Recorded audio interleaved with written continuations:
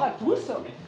Euh, je vous présente, pour ceux qui ne connaissent pas, Hugo Bernalicis, qui est député des euh, parlementaires dans la seconde circonscription du Nord, qui a grandi à Arras, si je peux me permettre, qui a fait aussi ses classes à Calais.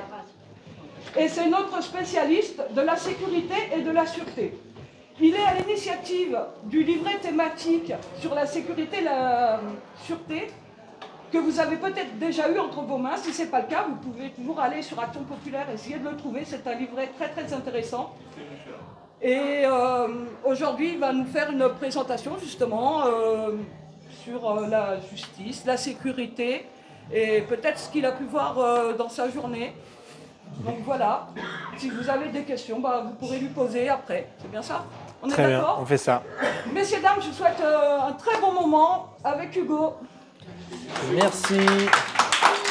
On va s'attacher ce soir à la question euh, de la sûreté et euh, justement ce concept de sûreté, il est intéressant à, maîtriser et à comprendre et je pense qu'on peut être fier en tant qu'insoumise et, et insoumis d'avoir remis en circulation ce concept de sûreté.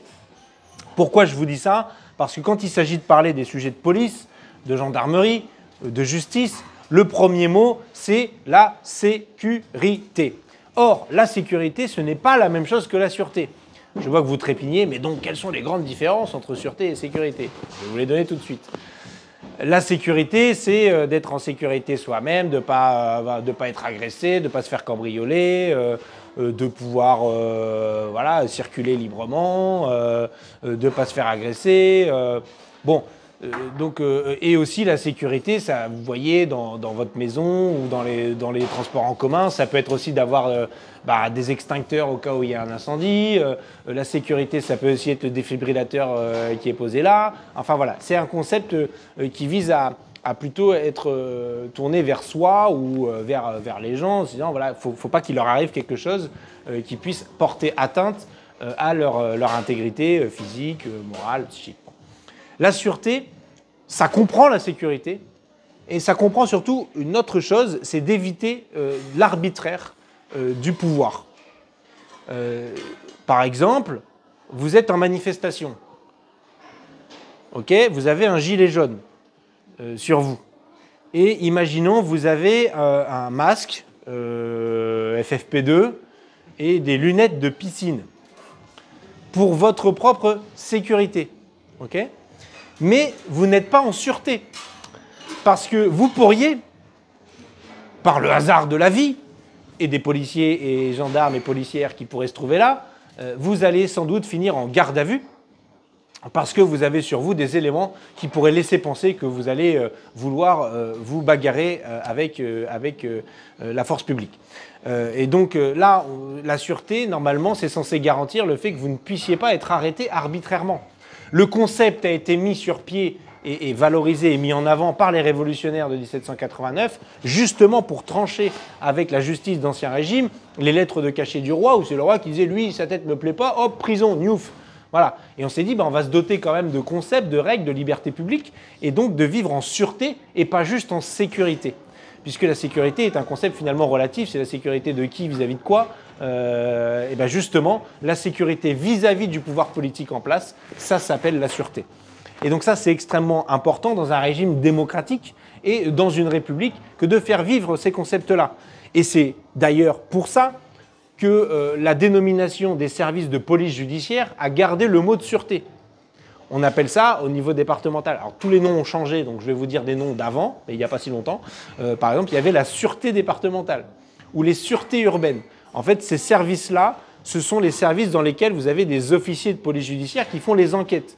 Et pourquoi on appelle ça sûreté? Parce que justement, ils sont sous le contrôle de l'autorité judiciaire, c'est-à-dire des magistrats du parquet quand c'est en enquête préliminaire et, des, délits de faible intensité, ou euh, sous le contrôle du juge d'instruction si c'est euh, euh, évidemment une information judiciaire qui est, qui est ouverte. Et donc c'est pour ça qu'on appelle ça sûreté, parce qu'il y a une procédure qui est garante des libertés individuelle et des magistrats qui la contrôlent, qui sont eux aussi garants des libertés individuelles au regard de l'article 66 de la Constitution qui prévoit que c'est l'autorité judiciaire qui est garante des libertés individuelles. Bon.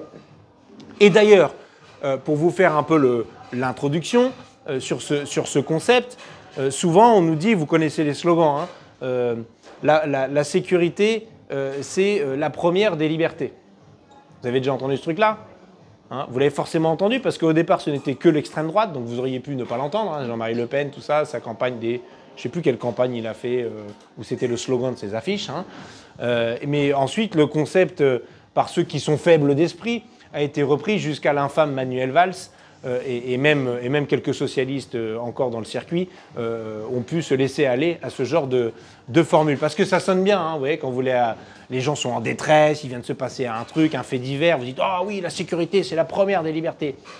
on va passer quelques secondes à analyser juste ce slogan parce qu'il est très évocateur de, pourquoi on est en désaccord total et de pourquoi en plus c'est une ineptie. la sécurité, première des libertés. Donc, il s'agirait de voir d'ailleurs quelles sont les libertés. Faisons la liste des libertés. Il y a la liberté d'aller et venir, euh, la liberté d'expression, la liberté de manifester, la liberté de sécurité. vous voyez que ça ne sonne pas, la liberté de sécurité, ça ne veut, rien dire en fait. Hein. Euh, la liberté d'être en sécurité, et encore, on ne sent pas que c'est une liberté, on dirait plutôt un droit, éventuellement, un droit à la sécurité, euh, un droit d'être en sécurité, mais pas une liberté. Euh, une liberté, c'est ce qu'on permet de faire. En fait, on ne permet pas la sécurité. Ça n'a pas de sens. Vous voyez, c'est un contresens déjà en, en, lui-même. Et puis, euh, euh, surtout, en réalité, quand vous analysez les textes à valeur constitutionnelle, Déclaration des droits de l'homme et du citoyen, je suis désolé, à l'époque, ils ne savaient pas qu'il y avait des femmes, mais sinon, normalement, c'est les droits humains, hein, parce qu'on n'est pas que nous seuls concernés. mais si vous prenez le bloc de constitutionnalité avec le préambule de la Constitution de 1946, euh, si vous prenez euh, la Constitution en elle-même euh, de 1958, de la Ve République, et que vous cherchez les occurrences du mot sécurité, vous risquez d'être un peu déçu. En tout cas, ceux de droite sont extrêmement déçus et tout le temps déçus parce qu'il n'est jamais fait référence à un concept de sécurité au sens où ils l'entendent, sécuritaire, avec des policiers partout qui vous surveillent, etc. Les seuls moments où on parle de sécurité, et là vous allez être content parce que je sais que vous êtes de gauche, euh, c'est qu'on parle de sécurité sociale, de sécurité matérielle, de sécurité de l'emploi. Euh, voilà, ça c'est le genre de sécurité qui sont effectivement, notamment dans le préambule de, 1946, euh, qui sont repris et qui ont valeur constitutionnelle. Il y a juste un objectif constitutionnel à la recherche des infractions, ça c'est vrai. pour les constitutionnalistes que ça intéresse, objectif à valeur constitutionnelle. C'est comme vous savez, ça a été beaucoup utilisé pendant le Covid, objectif à valeur constitutionnelle, c'est-à-dire la santé publique est un objectif à, valeur constitutionnelle, ce qui leur a permis de dire que plein de choses étaient constitutionnelles. Voilà, je passe là-dessus, mais euh, c'est pour vous donner le degré, euh, le degré de norme. Par contre, en revanche, le mot de sûreté, lui, il figure. Il figure dans la Déclaration des droits de l'homme et du citoyen, comme étant les droits inaliénables justement le droit à la sûreté. Ça, c'est prévu, c'est marqué noir sur blanc, encore une fois, je vous l'ai dit, parce que c'était pour rompre avec la situation euh, d'ancien régime et les lettres de, de, cacher. Il est d'ailleurs prévu dans, cette même déclaration des droits de l'homme et, du citoyen un certain nombre d'articles qui précisent que la force publique, par exemple, ne peut pas être détournée euh, au profit d'intérêts particuliers ou du pouvoir en place et qu'elle est au, profit euh, de tous et de toutes. Hein. voilà, des choses comme ça. Ou, que la détention arbitraire n'est pas possible, que nul ne peut être détenu arbitrairement. Bon, toutes des petites choses comme ça qui, quand vous les remettez dans le contexte gilet jaune ou manif des retraites ou autre, prennent une saveur un peu particulière. Euh, on se dit qu'ils euh, ont un peu foulé euh, la Déclaration des droits de l'homme et du citoyen. Et c'est donc aussi d'ailleurs pour ça que les organisations internationales, l'ONU, rapporteurs spéciaux et d'autres, la défenseur des droits, un certain nombre d'institutions se sont insurgés contre ce qui était en place et pas juste nous. Euh, même si nous, on a évidemment maintenant dans nos rangs Antoine Léaumont qui cite les articles de la Déclaration des droits de l'homme et des citoyens à qui veut bien l'entendre, et notamment son article 12 euh, que vous irez réviser après cette réunion pour le connaître par cœur. Bon, euh, donc, mais c'est pour vous remettre le contexte, parce que souvent, on a dit, vous le savez, la sécurité, c'est de droite et le social, c'est de gauche. Évidemment, parce que nous, on ne parle que de social. tous les autres sujets, on s'en fout. Non, c'est pas vrai. Par contre, ce qui est vrai, c'est qu'on n'a jamais pensé que par la sécurité, on allait régler les problèmes sociaux. Ça, c'est vrai. Et ça, il faut continuer de le défendre. Et on dit même que si on réglait un certain nombre de problèmes sociaux, peut-être qu'on serait plus en sécurité sociale ou en sécurité matérielle ou en sécurité euh, tout court, et qu'on aurait sans doute moins besoin euh, d'avoir des moyens de coercition sécuritaires euh, pour contrôler les populations et leur faire accepter un sort misérable. Bon, ceci étant dit, euh, on a mis en place les, concepts euh, qui, nous intéressent. euh, et l'idée est ensuite de se dire comment on fait pour que ça se matérialise davantage, la question de la sûreté en tant que telle dans l'organisation de la police. Déjà rappeler effectivement, et c'est essentiel, c'est essentiel, la police est sous le contrôle de l'autorité judiciaire, sous le contrôle, point, y compris pour les PV. hein. Parce que le PV, euh, même l'amende, enfin je veux dire, c'est déjà un, acte euh, judiciaire euh, qui est a priori contrôlable par l'autorité judiciaire. Bon, ils ont lâché l'affaire depuis longtemps, et si vous allez à des audiences du tribunal de police, vous n'allez pas être déçus pour ceux qui arrivent jusqu'au tribunal de police. hein. Ce qui est déjà une petite prouesse en soi. Mais je sais que Fred est en train de contester un PV, il nous dira, il nous en donnera des nouvelles s'il arrive, s'il arrive jusque, s'il arrive jusque donc, donc on, a, besoin de ça. C'est pourquoi euh, normalement euh, vos, poils ont dû se hérisser quand vous avez vu cette manifestation devant l'Assemblée nationale euh, de policières et de policiers, des organisations policières évidemment. Bon, d'une part parce qu'une manifestation d'organisation policière devant l'Assemblée nationale, c'est un peu bizarre. hein, en soi, on se dit que ça sent ça sent pas bon parce que c'est quand même des gens qui ont a priori des armes. Donc euh, démocratiquement, c'est pas GG. Euh, mais en plus, leur slogan central, c'était que le problème de la police, c'est la justice. À partir du moment où ça s'est posé, c'est qu'on n'est plus en sûreté. On sera peut-être en sécurité, mais pas en sûreté, ça c'est sûr. Et que l'arbitraire euh, est en train de gagner du terrain. Et on le voit dans des pratiques policières en tant que telles. Et des lois que nous sommes en train de voter. On s'est insurgé, peut-être que vous êtes passé à côté, mais contre la démultiplication des amendes forfaitaires délictuelles, par exemple. Vous savez, ce sont, ce sont des amendes, je vous fais le schmilblick. En gros, allez, on va prendre le cas le plus simple, euh, consommation euh, de stupéfiants. C'est un délit. Consommer des stupéfiants, c'est un délit. À partir de là, les policiers, s'ils vous voient consommer des stupéfiants, euh, doivent vous arrêter pour faire cesser l'infraction et ensuite doivent vous. Euh, Alors il y a plusieurs cas de figure. Le cas typique, c'est qu'ils vous placent en garde à vue.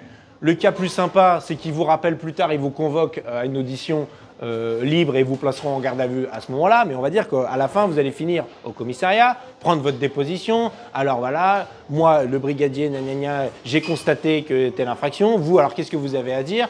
Procès verbal, je transmets à l'autorité judiciaire, au parquet en l'occurrence, pour savoir quelles sont les suites à donner. Puisque, encore une fois, c'est l'autorité judiciaire qui dit normalement quelles sont les suites à donner à partir du moment où c'est un délit.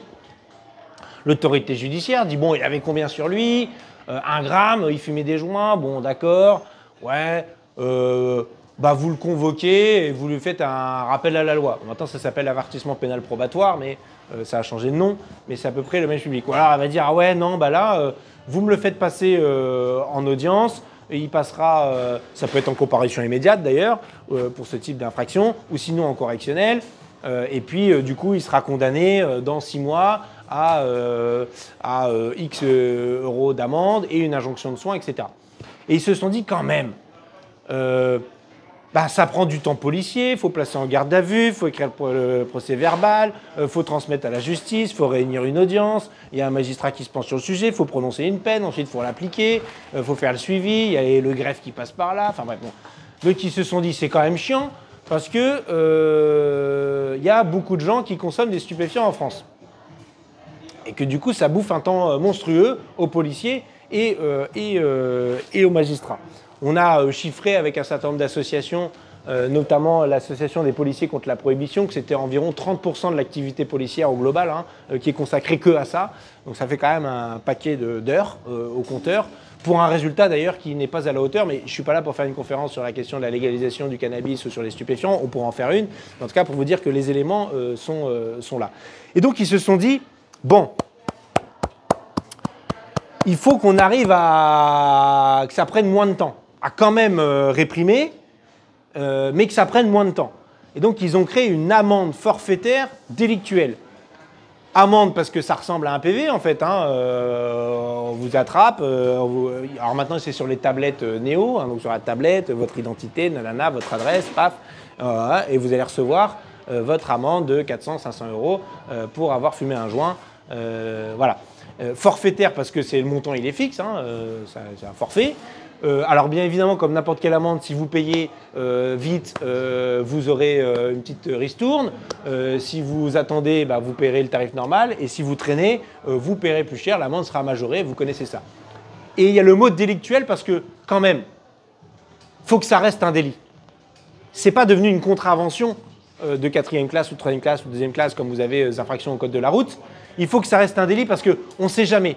Si on l'attrape une deuxième fois, une troisième fois, euh, il faut quand même qu'il repasse par le juge, parce que c'est quand même les magistrats qui ont le contrôle sur tout ça. On est quand même dans un état de droit, hein, euh, et le principe de sûreté, on y est encore un peu attaché. Ça peut pas être les policiers qui, euh, à eux tout seuls, rendent justice avec leur, carnet à souche, enfin tablette néo, pardon, avec leur tablette néo. Et donc au début, dans la loi, ils avaient prévu qu'on ne puisse sanctionner qu'une seule fois quelqu'un qui commet l'infraction. Et que la deuxième fois, il fallait repasser par la procédure classique.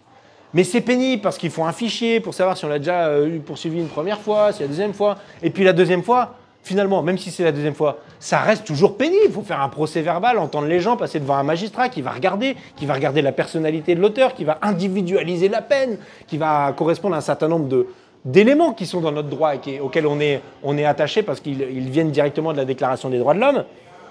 Donc, ils ont modifié euh, au détour de la LOPMI, la loi d'orientation et de programmation du ministère de l'Intérieur, où ils ont créé plein de nouvelles amendes forfaitaires délictuelles, notamment pour l'occupation euh, euh, d'écoles, par exemple, de manière illégale, ou le blocage d'une route aussi.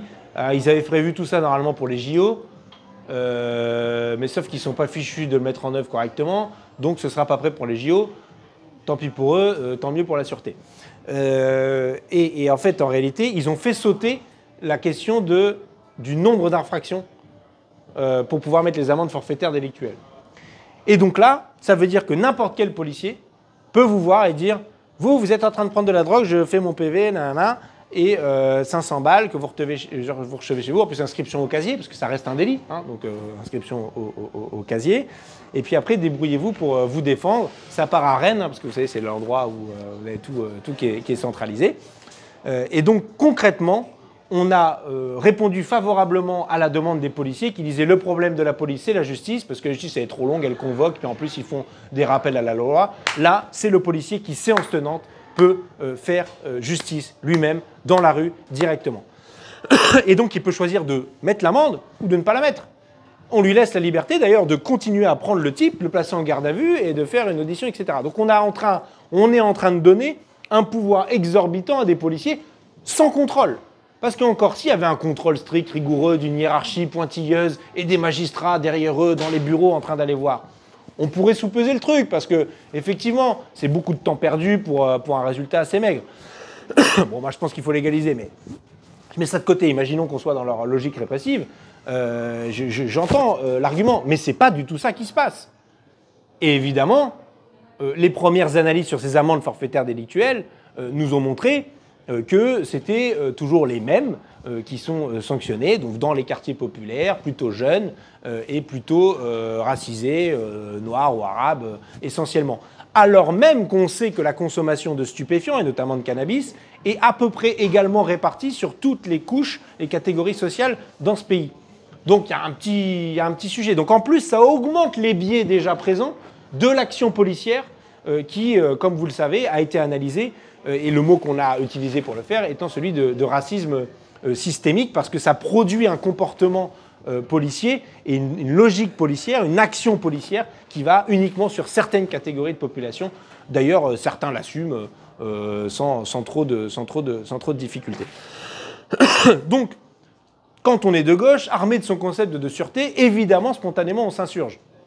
Quand on est moins de gauche, on se dit que quand même, ces pauvres policiers, euh, ils doivent faire des paperasses et c'est compliqué. Et puis la drogue, c'est mal et il euh, euh, faut réprimer et, c'est vachement bien. Voilà. Donc évidemment, on a un peu ramé pour faire en sorte que toute la gauche dans l'hémicycle vote contre les amendes forfaitaires délictuelles. Ce n'était pas gagné en commission, mais à force, parce qu'on est mu d'un idéal et cortiqué on va dire, euh, avec notre cerveau et avec une philosophie politique, on en a déduit une prise de position à un instant T sur un sujet euh, qui est extrêmement important. Je voulais vous dire ça parce qu'il faut que vous compreniez que le principe de sûreté, du coup, tire des conséquences de ce pourquoi nous sommes euh, favorables et ce en quoi, euh, pourquoi nous ne voulons absolument pas aller euh, dans cette direction. Donc, il faut en réalité un contrôle renforcé euh, de euh, la justice sur la police. Et il faut d'ailleurs un renforcement de la formation des policiers euh, à ce qui sont les concepts de sûreté et de sécurité, c'est-à-dire en fait aux libertés publiques. Et là, la- la- l'actualité est pas. Bon, il y a du boulot. Euh, Il y a du boulot parce qu'il y a une étude qui a été faite en février 2024, donc c'est quand même vraiment pas vieux, hein, c'est genre le mois dernier. Euh, j'ai cherché plus récent, j'ai pas trouvé. Euh, qui a été rendue publique par la, défenseur des droits, où elle a pris des, sociologues, euh, d'ailleurs qu'on connaît bien, euh, et ils ont fait tout un tas d'enquêtes, euh, d'entretiens, euh, et auprès des gendarmes et des policiers avec un certain nombre de questions. Et donc leur étude nous donne un certain nombre d'éléments euh, qui parfois peuvent euh, nous intéresser, parfois moins. Je vous les livre euh, maintenant. Et, et c'est à cet instant que Gabriel choisit de se réveiller. Seuls 23,8% des policiers et 34,3% des gendarmes sont d'accord avec l'affirmation selon laquelle, ouvrez les guillemets, on peut globalement faire confiance aux citoyens pour se comporter comme il faut. Ok Je répète, seuls 23,8% des policiers et 34,3% des gendarmes sont d'accord avec l'affirmation selon laquelle on peut globalement faire confiance aux citoyens pour se comporter comme il faut. Donc eux-mêmes sont déjà dans un état d'esprit où quand ils sortent dans la rue, euh, c'est euh, c'est ça, il y a 3 sur 4 qui, vont vous regarder de travers, quoi. Hein Parce qu'on sait jamais. Oui, oui. Peut-être que c'est parce que eux aussi pensent que 23% des policiers euh, ne se comportent pas comme il faut. Enfin, voilà. Réponse relative à l'efficacité des contrôles, et ça, ça va nous intéresser, laisse poindre des points de vue très contradictoires et en léger décalage par rapport à la conception plutôt répressive du métier. Là, ça va vous intéresser, c'est sur les contrôles d'identité. Euh, pratiques qui n'ont pas grand-chose avec la, à la sûreté et tout à voir avec la suspicion. La suspicion euh, en fonction euh, de, de votre faciès, comment vous êtes habillé, etc. Ça dit les choses suivantes. L'efficacité des contrôles ne fait pas l'unanimité. Tiens, c'est intéressant, c'est ce qu'on dit. Faire des contrôles fréquents pour garantir la sécurité d'un territoire suscite des jugements opposés. 59,6% des répondants ont jugé cette pratique très efficace ou efficace. C'est pas mal, 60%, mais il y a quand même 39,2%, quasiment 40%, qui trouvent que c'est peu ou pas efficace. 40% des policiers et des gendarmes trouvent que les contrôles d'identité sont peu ou pas efficaces. Mais ils vont quand même les faire. Mais ils trouvent que c'est peu ou pas efficace. D'ailleurs, nous aussi, on trouve que c'est peu ou pas efficace. La répression ciblée des consommateurs de stupéfiants est même jugée plutôt pas efficace. 55,6% peu ou pas efficace contre 42,9% très efficace ou efficace. Et encore, ils ont fait cette étude en février 2024. Enfin, ça faisait un an qu'il a mené, enfin quelques mois. Mais donc les amendes forfaitaires délictuelles, ça fait déjà 5 ans qu'elles sont en vigueur. Donc ils les utilisent déjà pour réprimer. Et eux-mêmes trouvent que ça sert à rien. Parce que quand ils en, ont- quand ils en mettent une, il se trouve que s'ils repassent au même endroit deux, trois semaines plus tard, ils vont pouvoir en remettre une autre à la même personne. Ça veut dire que ça n'a pas trop marché. Hein D'ailleurs, cette amende ne sera pas payée, ça va générer d'autres problèmes. Et là, je vous renvoie vers le superbe colloque qu'on a fait sur la question euh, des amendes et des contraventions, disponible sur ma chaîne YouTube. Et si vous n'êtes pas abonné, abonnez-vous. Donc, je disais, et ici, les rapports s'inversent. Ce sont les policiers qui se montrent les plus sceptiques quant à l'efficacité des contrôles ciblés sur les consommateurs de cannabis. 69,5% qui trouvent que c'est peu ou pas efficace. Quand même intéressant de savoir qu'eux-mêmes trouvent que c'est n'importe quoi ce qu'ils font. Mais ils le font quand même. Après, ils sont là pour obéir. hein, euh, et j'espère bien que quand on sera au pouvoir, ils seront aussi là pour obéir. hein. Bref, j'y reviendrai après. Justement, il y a des éléments qui sont moins, fameux. Une conception professionnelle étroite privilégie une attitude où le policier n'a pas besoin d'écouter.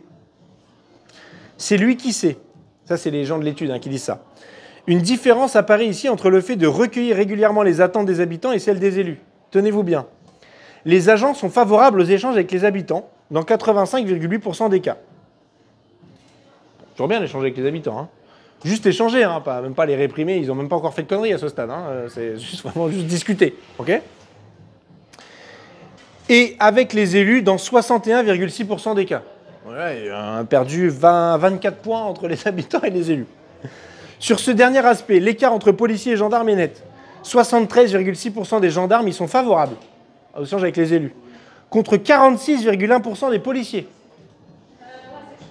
Quand des policiers en République trouvent que c'est pas très bien d'échanger avec des élus, commencez à se poser des questions. Hein. Alors attendez, c'est pas fini.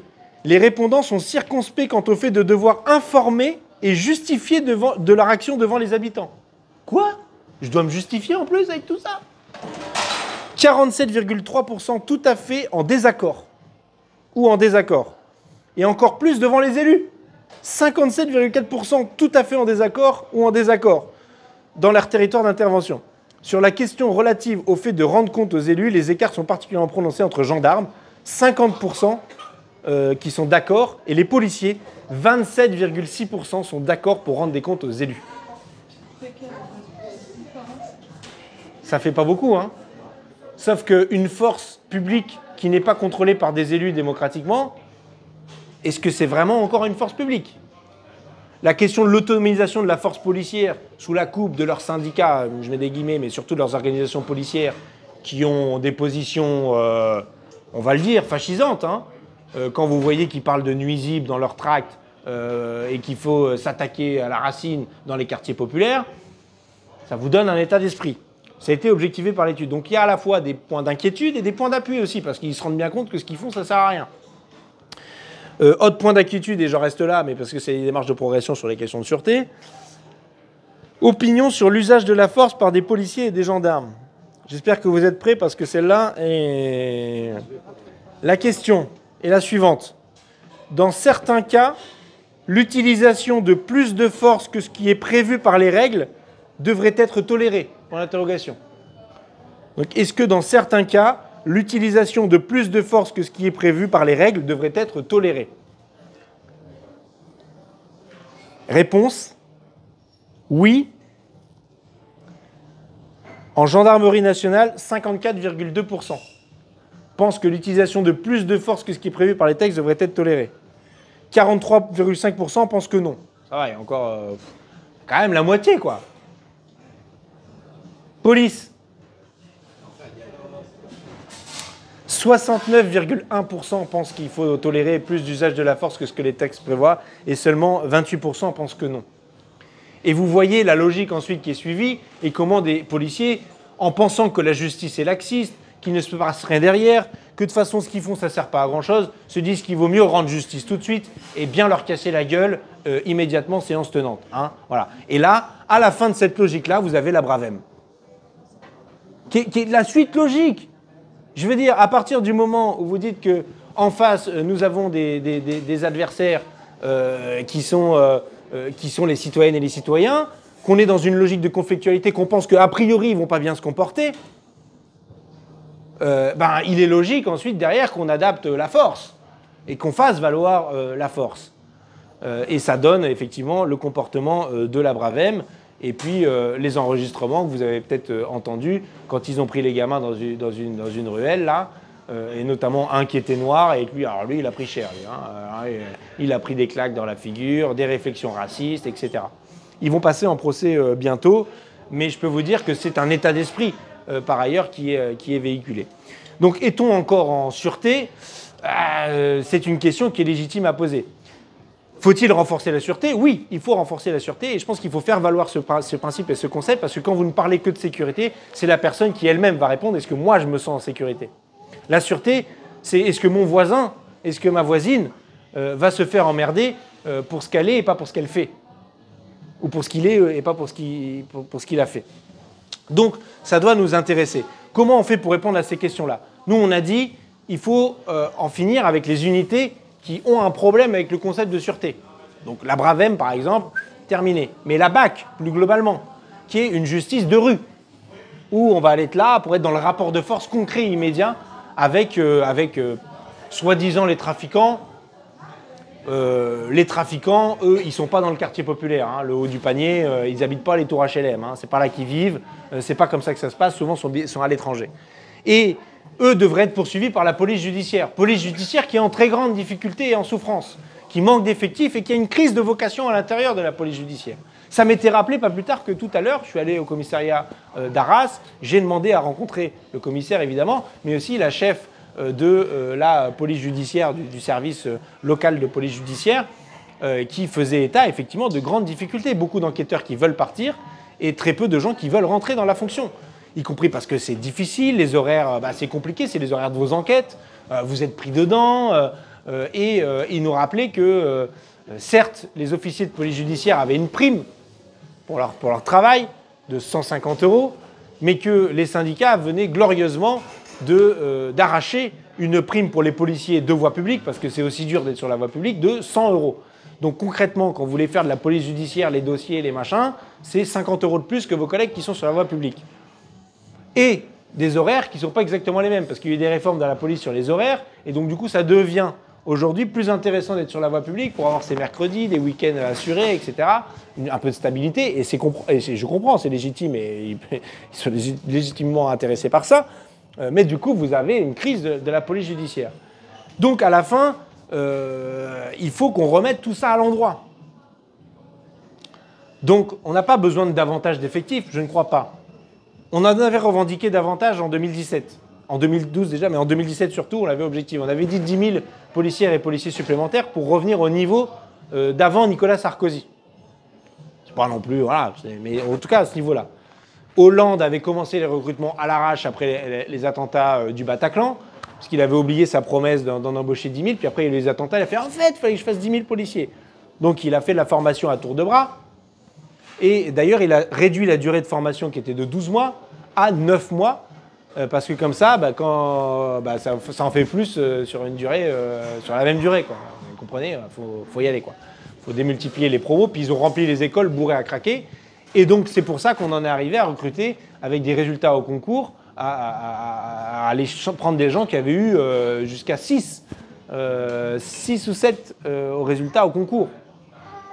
alors ok, c'est pas un examen, l'objectif n'est pas d'avoir la moyenne, mais enfin quand vous avez 6 ou 7 au, concours de gardien de la paix qui est, qui un concours, mais qui n'est pas le plus exigeant. Hein. C'est le point d'entrée, c'est euh, niveau, euh, c'est même pas niveau bac d'ailleurs, c'est niveau euh, brevet. Il aurait aussi la niveau bac pour, les, pour les concours, mais, du coup, ce sont des gens ensuite qui ne vont être formés que 9 mois, qui ont déjà un niveau extrêmement bas, qu'on va mettre sur la voie publique avec des prérogatives de dingue. Ils vont pouvoir mettre des amendes forfaitaires délictuelles.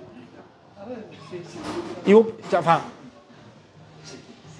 c'est quand même c'est lunaire, quoi. Donc, euh, donc déjà, on va arrêter de recruter à 6 de moyenne, et pour ça, il faut donner envie de rentrer dans la police.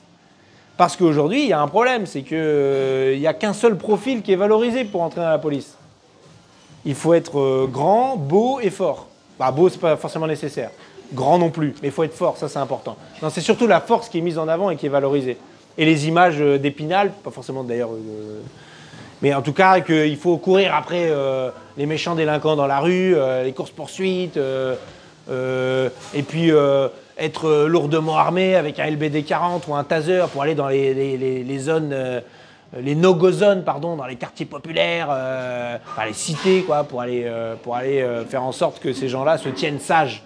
Hein.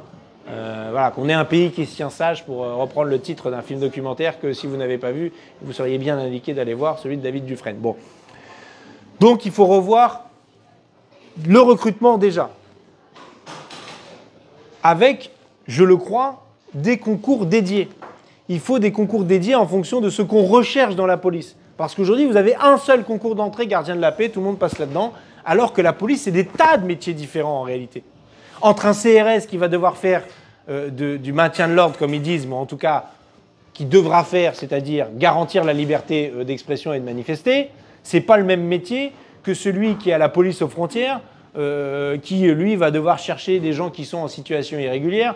On reviendra là-dessus parce qu'on fera pas exactement la même chose qu'eux. En tout cas, ce n'est pas le même métier, évidemment, parce que vous devrez maîtriser le droit des, étrangers, qui est, un, droit qui est un peu, un, peu, un peu compliqué par ailleurs. Et ce n'est pas encore le même métier que si vous êtes en sécurité publique. Et même à l'intérieur de la sécurité publique, il y a plein de métiers différents, parce qu'en réalité, il y a celui qui va prendre la plainte, un métier en tant que tel, prendre la plainte, savoir quelles sont les qualifications pénales, bien recueillir l'information, échanger avec la personne, que celui qui est à la BAC, à qui on va demander de frapper dans le tas euh, et de faire des dérapages frein à main avec sa voiture pour impressionner euh, dans le quartier. euh, ou d'attendre pendant des heures que peut-être un cambriolage arrive. Et c'est pas encore le même métier que celui qui va être au renseignement territorial, ex-RG, qui lui euh, doit bah, regarder ce qui se passe sur les réseaux sociaux, aller discuter avec les responsables d'associations, passer des coups de fil aux syndicalistes, être présent sur les manifs, être présent sur le terrain, papoter avec les gens, faire ce qu'on appelle d'ailleurs du renseignement ouvert, qui n'est encore pas le même métier que celui qui est à la DGSI qui va faire du renseignement euh, pour la lutte contre les actes de, terrorisme et qui va devoir du coup euh, euh, travailler sous le secret, qui n'est pas encore le même métier que celui qui a la police judiciaire, qui va devoir se taper des procédures, respecter les choses, comment on place en garde à vue, comment on fait une perquisition, être sûr qu'on ne va pas se faire casser la perquisition une fois qu'on sera au procès, avec des irrégularités.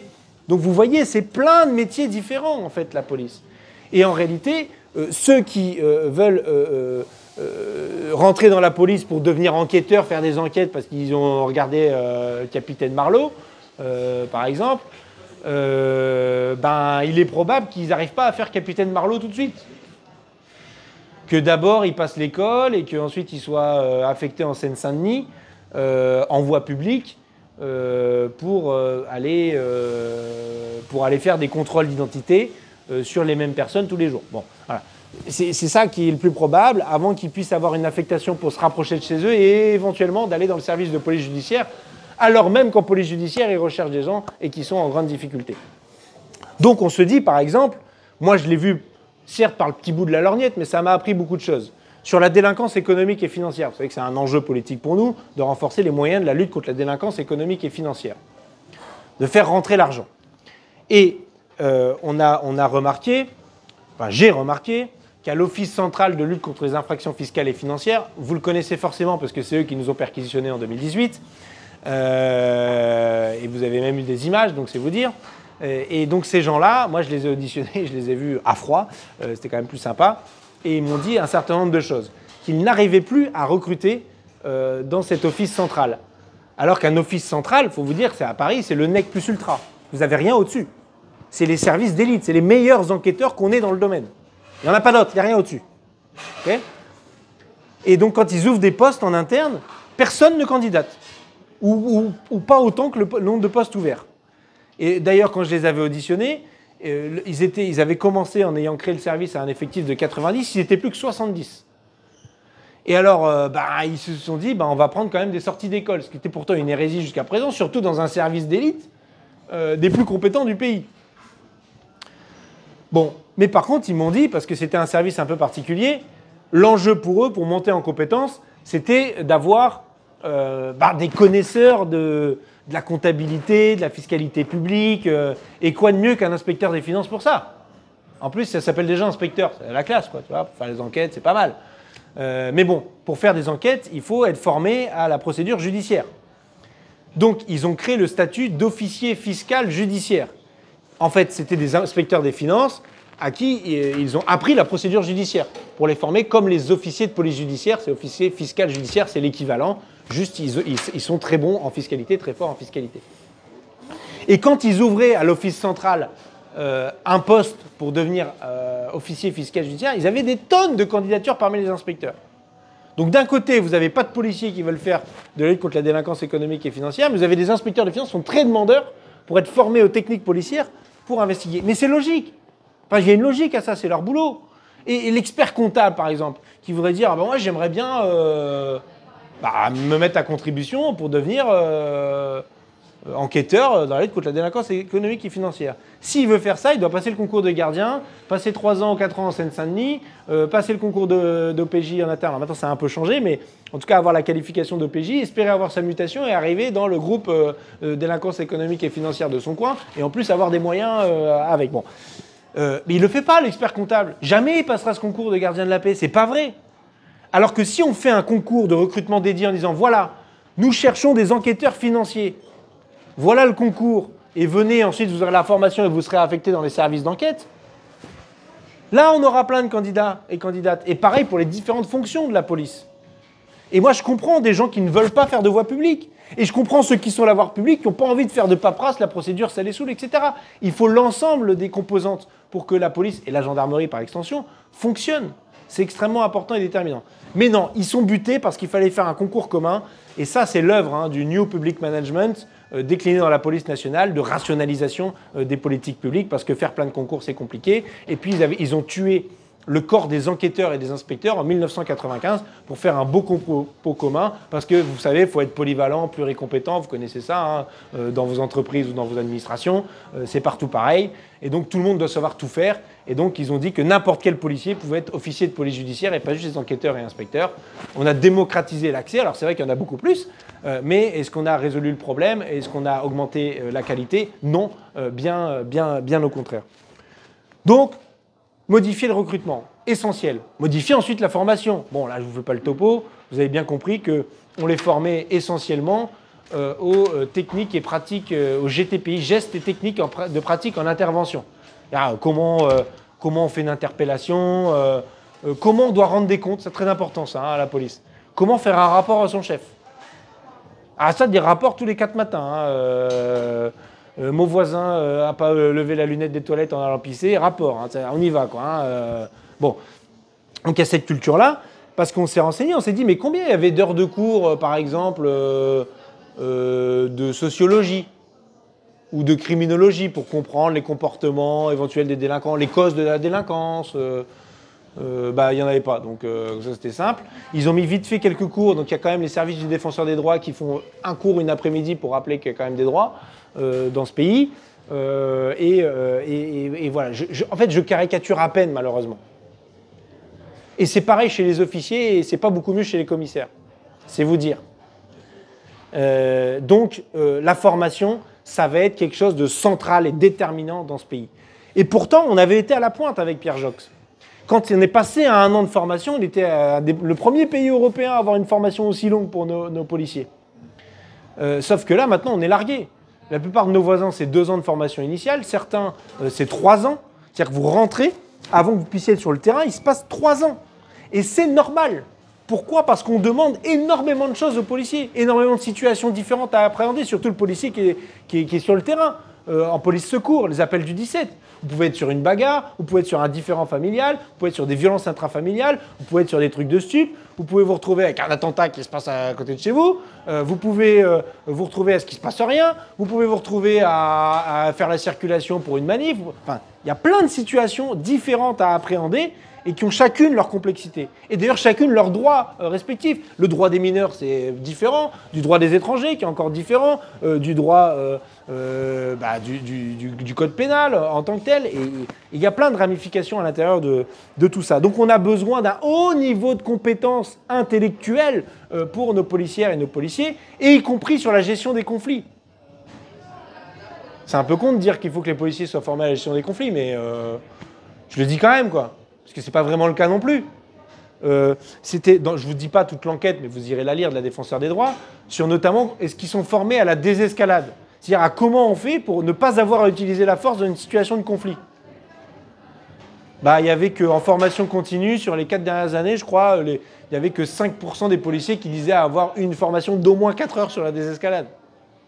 il faut voir la formation, en plus, le contenu après derrière, mais, c'est vous dire. Donc ce n'est pas du tout les objectifs qu'on leur fixe. Par contre, la politique du chiffre, elle, elle continue, il n'y a pas de problème.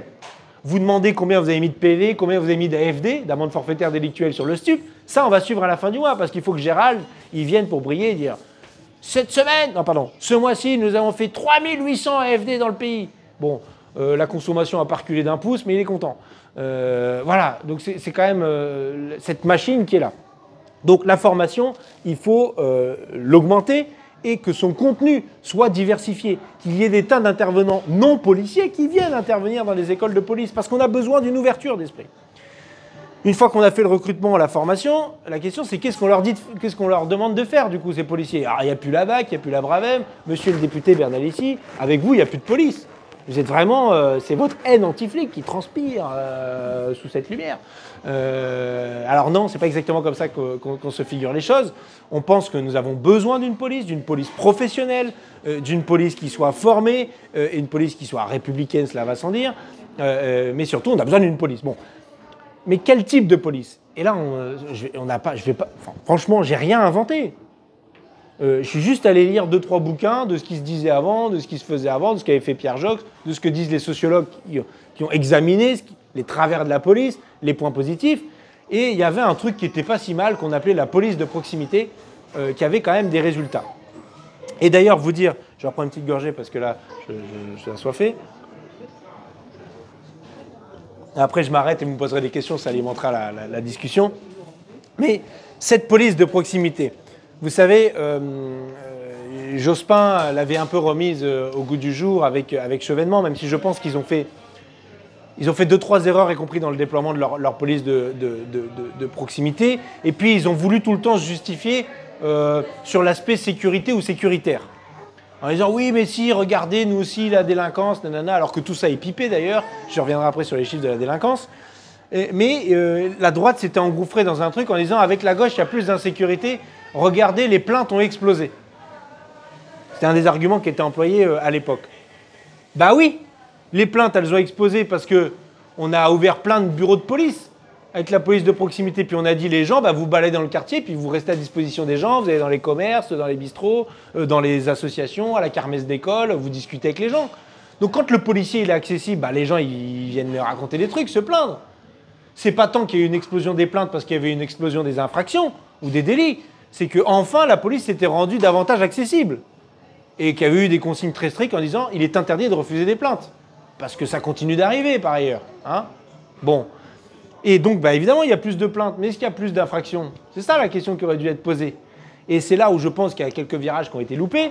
Et aujourd'hui, euh, nous avons à notre disposition des chiffres qui s'appellent les enquêtes de victimation. C'est important que vous ayez ça en tête, qui sont faites conjointement par le service statistique du ministère de l'Intérieur et euh, l'INSEE euh, qui est un vrai sondage euh, avec une méthodologie, une base réelle, euh, quantitative. Je crois que c'est plus de 20 000 répondants ou 22 000 répondants, avec des questionnaires que vous recevez à la maison. D'ailleurs, si vous ne répondez pas au questionnaire, c'est une infraction pénale, soit dit en passant.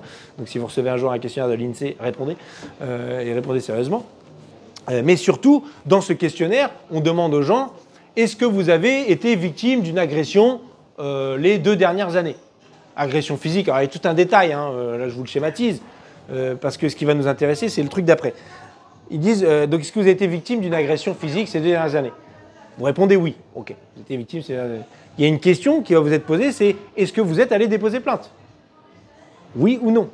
Et c'est par ces enquêtes-là qu'on sait le faible taux de plainte pour les viols, par exemple, mais aussi pour les escroqueries en matière de délinquance économique et financière. Les gens qui font, font escroquer sur Internet ou au porte-à-porte, euh, il n'y a que 16% des gens qui vont déposer plainte. Donc imaginons demain on s'organise bien pour prendre les plaintes des gens, ceux qui ont vraiment été victimes d'une escroquerie.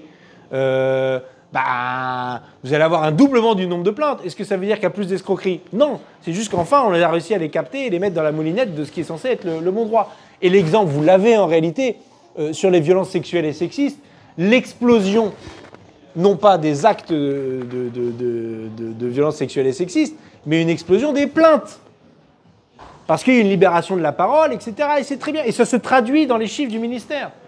Et donc si vous les lisez mal, ces chiffres, vous avez l'impression que ça y est, euh, euh, c'est pire qu'avant. Mais pas du tout. Et donc vous voyez bien comment aussi euh, cette police de proximité, elle est là pour capter les besoins de la population. Et donc il faut que cette police de proximité, elle ait les moyens d'être identifiée, parce qu'elle doit être dans un double contrôle. Et pour ça, on a vraiment, pareil, on n'est pas cherché très loin les différences que vous voyez de réponses dont je vous ai parlé tout à l'heure entre policiers et gendarmes sur la perception de leur relation avec les citoyennes et les citoyens est due très fortement à leur, structure. Ils, ont, ils sont par nature de proximité. Les gendarmes n'ont pas le choix. Ils sont de proximité, ils sont dans la caserne, ils sont là. J'y peux pas.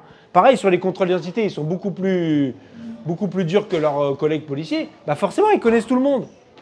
À quoi ça va servir de faire un contrôle d'identité? On le connaît déjà n'a pas de sens. Et qu'est-ce qui se passe pour les gendarmes?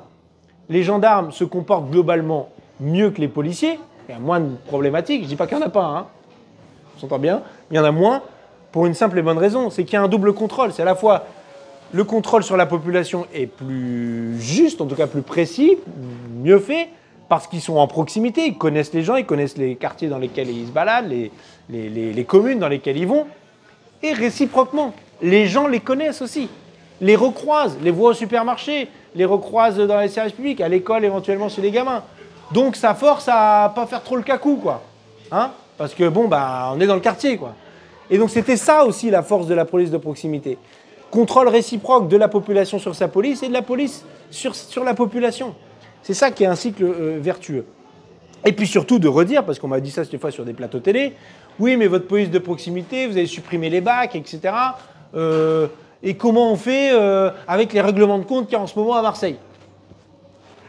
On m'a vraiment dit ça sur un plateau télé. Bon, c'était sur CNews, mais ils auraient pu me le dire sur BFM. Hein. Franchement, en vrai, ils auraient pu me le dire sur BFM. Ça n'aurait pas changé grand-chose. Euh, je pense qu'ils sont à peu près dans, le même étillage. Et c'est là où nous, parce qu'on a réfléchi au sujet, parce qu'on a mis tout ça dans des beaux documents et parce qu'on est plus intelligent que les autres, euh, on, on, leur a dit, je leur ai dit sur le plateau, mais jamais de la vie la police de proximité n'arrêtera une fusillade. Ce n'est pas son métier. Alors, ils peuvent être en primo intervenant pour euh, s'il y a des blessés, prévenir les collègues, etc. Ça, ce sera leur job d'alerter parce qu'eux, ils sont en proximité. Ils savent où ça se passe, ils savent renseigner. Ils savent peut-être même si c'est des gens du quartier qui sont victimes ou auteurs, si la famille est là-bas, où ils vont se retrouver. Mais qui va devoir intervenir? Ceux dont c'est le travail. La police judiciaire pour faire l'enquête.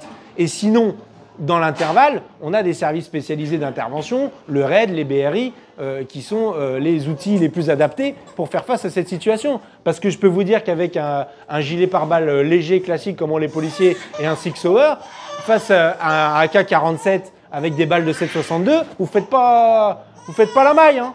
Vous faites pas la maille. Et donc, on n'est pas non plus pour mettre en situation de danger les policiers. Chaque métier, à l'intérieur de la police, doit avoir ses effectifs, ses prérogatives. Et c'est comme ça, et les choses doivent être bien articulées pour que ça fonctionne correctement. Donc la police de proximité, on lui demande de la faire de la proximité et de faire finalement du renseignement efficace pour savoir quand intervenir et aussi savoir quand ne pas intervenir. Quand on peut être juge de paix. Et là, j'en reviens à la dénomination des policiers qui s'appellent des gardiens de la paix. Pas des musclores, des robocop ou je sais pas quoi. Des gardiens de la paix. Euh, et donc il faut réaffirmer euh, ce rôle-là, y compris qu'il y a un rôle social de la police. Euh, vraiment dans la, vie de la, cité et de la société, et qui fonctionne mieux pour prévenir un certain nombre de choses, même si le métier de policier, moi je ne veux pas faire de confusion, ce n'est pas de faire de la prévention en soi. Leur présence peut prévenir des infractions, mais ce n'est pas la prévention. Il y a des gens qui font de la prévention, ça s'appelle la prévention spécialisée. C'est financé par le conseil départemental avec des éducateurs, des gens formés pour ça, y compris des éducateurs de rue. Et ça, c'est en PLS. Parce que tous les départements ont fermé le robinet des, financements. Même ceux de gauche ont du mal à maintenir à flot euh, les, moyens.